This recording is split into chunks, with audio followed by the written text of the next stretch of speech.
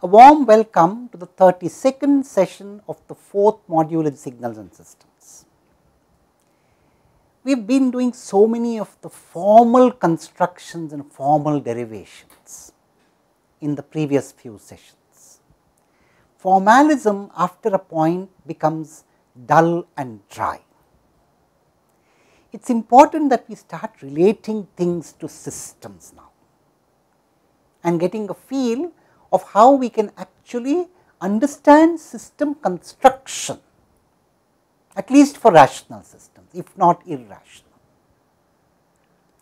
So, what we wish to do now is to introduce how one can draw a block diagram of a system and in fact we also wish to connect it to the system description. So, once I have a system function and we will begin first with the continuous independent variable case, we would like to draw a block diagram for that, for that system with basic components. So, let us get down to that job. Now, rational systems and we will begin first with the continuous independent variable case. Rational systems correspond to linear constant coefficient differential equations. Let us take what we call the rational system of the following form. In fact, let us take an example. Let us assume we have a rational system with system function s plus 1 by s plus 2 with the region of convergence given by real part of s greater than minus 2. Now, how do we write this in the form of a linear constant coefficient differential equation. So, let us write down what the system function means first. y of s by x of s is s plus 1 by s plus 2 and we can cross multiply and we can invert the Laplace transform. Now, this is indeed a linear constant coefficient differential equation.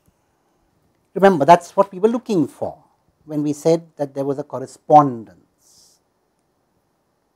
Now, this is all right in terms of writing a differential equation, but in practice suppose I want to draw a diagram which realizes this.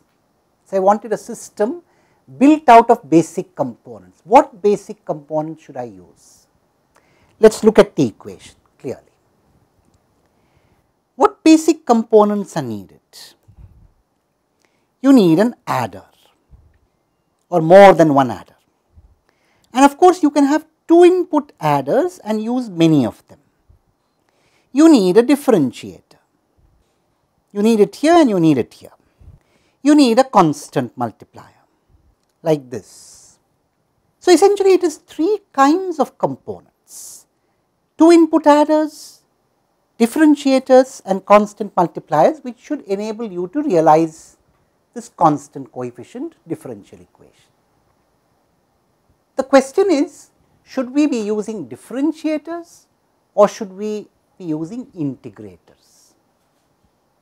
We will talk about that after a while. But right now suppose I want to use differentiators. Let us see how I can draw this system in the form of a block diagram or more appropriately we will call it a signal flow graph. So, we are now going to talk about representing signals rather systems and signals not just signals with what are called signal flow graphs.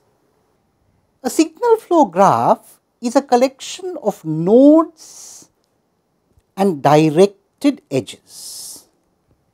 In our context, the nodes would represent the Laplace transform or the Z transform of corresponding signals. The directed edges are like transportation systems, you could think of them like that or transport units with a processor embedded. And here these multipliers are in the Laplace or Z domain. So, what we are saying is as follows. Let us take this very same system that we had. We have s plus 2 times y of s is s plus 1 times x of s. And we can rewrite this 2 times y of s is s minus s times y of s plus s times x of s plus x of s. So, now we can conceive of a signal flow graph. It is best understood by example. You have nodes corresponding to y of s and x of s. Now, you use a transport unit with just a unity multiplier. So, if there is a unity multiplier, it means you are just transporting as is and you are bringing it here. Now, what do you need to do? You need to do something similar. So, assume that y s is also transported like that. So, you see you have an equation which says 2 times y s is something with obtained by combination.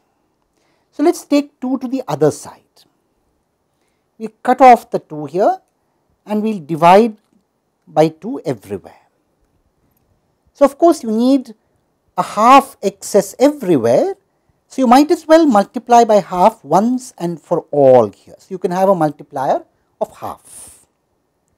Now, what do you need to do? You see Ys has been generated. So, let us assume Ys was generated here and it is brought here. But before generation, you differentiated Ys, you know you want to take care of this term here. So, you differentiated Ys, that means you multiplied by S. So, at this node, we have S times Ys. Now, we need to combine S times Ys multiplied by minus half and then half x s, you know half x s has already been created. You need to carry it as it is and you also need to differentiate. So, you need to put two edges here, carry it as it is and differentiate it and then carry. And these need to be added. And now, at this node, I have generated half x s into s plus 1 and here we have s times y s you need to multiply this by minus half and you need to add this and this. So, I will do that. I will bring another node where I transmit this as it is and I add this. And this is what generates y s, the loop is complete. This is very interesting. What we have done here, let us go over it again. This is a recursive building of the signal flow graph. By the way, this whole thing is a signal flow graph and we will say a little more about the signal flow graph. So, as you see a signal flow graph has nodes, it has directed edges. Each of these directed edges should be thought of as transport units. So, what do they do? Each directed edge starts from a node and ends at a node. What does it do? It takes what is there at the start node multiplies it by the multiplier which is on that edge and then dumps it at the end node. And take for example, this node here. This node has incoming edges, these are incoming edges and these are outgoing edges. Now, as far as the incoming edges go, all that the incoming edges bring is deposited at that node and forms the value of that node. The outgoing edges all carry whatever is at that node. So, it is not as if you have to distribute it among all the outgoing edges, there is no conservation principle here. So, you simply let all the outgoing edges carry whatever that node has. So, if you look at it, some nodes have only outgoing edges. These are called source nodes and some nodes have only incoming edges, they are called sink nodes. and all other nodes have both outgoing and incoming edges. So, they are called intermediate nodes. So, remember the value at a particular node is the sum of all that is deposited by the transporting directed edges coming into that node. What goes out on each of the outgoing edges is simply what is on that node. All of them carry the same thing. So, this is how we can now understand the signal flow graph. This is a signal flow graph and this is a very common way of representing a block diagrammatic representation of rational systems at least. It could also correspond to irrational systems, but we are not getting into that right now. So, you see you get what is happening here, you see you have multiplied x by half. So, it is taken care of this factor of half here in both these places. You have essentially multiplied that by s plus 1 and that brings you here. Then that has taken care of this term and then you have y s assume it has been generated here. You multiply it by s, so it takes care of this and then you multiply it by minus half and then that is added to this. So, you have this node and finally that node is the same as y s. So, you bring it here. Now, you notice something very interesting. There is a loop here. That means you have a set of directed edges which start at a given node and reach back the same node if you go around them, you know. Start from this node, you come here and then you come here and then you come here and you reach back here. So, this is an example of a signal flow graph which has feedback. There is a feeding back of the output towards the input side and you are then combining some function of the input with it and generating the output. Recursion requires feedback. So, if you are expressing the output in terms of itself and some function of the input, loops are bound to be there. Of course, at this point we are not getting into all the details of how you analyze such a signal flow graph in its own right. There is a whole science behind that and maybe in some subsequent course we can get into it. But right now an awareness of the signal flow graph is important. Now a remark about the way we have constructed the signal flow graph fundamentally we have constructed the signal flow graph essentially by using multipliers in the Laplace domain and we use differentiators. When you say multiply by s, you are talking about differentiation. Is differentiation a good idea in continuous independent variable systems? In general, no. Differentiation tends, and in fact, let us understand that. If you look at the frequency response of a differentiator, put s equal to j omega and you get just j omega. So, what is its magnitude? Notionally, you know of course, there is a bit of a catch. It is not really correct to talk about the frequency response of a differentiator because it is an unstable system. But anyway, we could cheat a little bit and talk about it and say that it applies in a certain set of finite frequencies. So, finite frequencies it is okay. This is the magnitude mod omega. Clearly, this emphasizes higher frequencies more and more and higher frequencies are where you find noise typically. Many disturbances, many unwanted components are often present at higher frequencies and these are not a part of your design, they come by virtue of practical implementation. So, if you put differentiators into the system, unwittingly you would be emphasizing these unwanted components or noise in most situations. In contrast, if you used an integrator in place of a differentiator, let us see what would happen. When you put s equal to j omega, you get 1 by j omega and therefore, the magnitude would look something like this.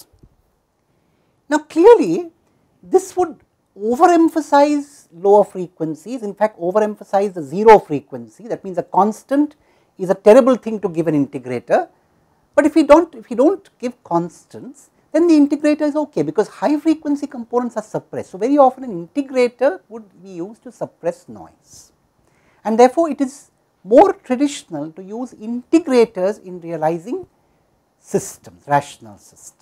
So, let us see how we could realize the same system by using integrators. I shall show you a few steps in that direction and then leave you to complete the exercise. So, let us take the same system that we have. So, we will rewrite this in terms of integrators. So, we will multiply and divide by S inverse. S inverse is an integrator. And now we have a neat signal flow graph. We can write y of s by x of s. So, we can now build a signal flow graph corresponding to this. Let us do it right here and take care of terms one by one. So, I have a node x of s. I need to multiply it by S inverse and also keep it as it is. Transmit it as it is, multiply by S inverse. This is the integrator and then add. So, I have generated this term here. Now, again same way I will keep y of s at this point use an integrator on it. So, I have gone up to here, multiply by minus 2. So, I have taken care of this and now I need to add these two and this should generate y of s. In fact, if I really wish to I can pull out y of s explicitly. So, this is the signal flow graph with integrators instead of differentiators for the same system. So, as you can see there is more than one way of drawing a signal flow graph for a given system and different these are different structures for the same system. The defining equation is the same, the system function is the same, but you have different structures. So, you have given a feel of how you can have structures for systems. Now, which structure is better, which structure is worse, is a deep subject by itself. I have given a hint here very often we might prefer integrators instead of differentiators in continuous variable systems. However, that is also not universally true. There could be some situations where you want a differentiator for one reason or the other or you may want a combination of differentiators and integrators and many structures are possible as you can see.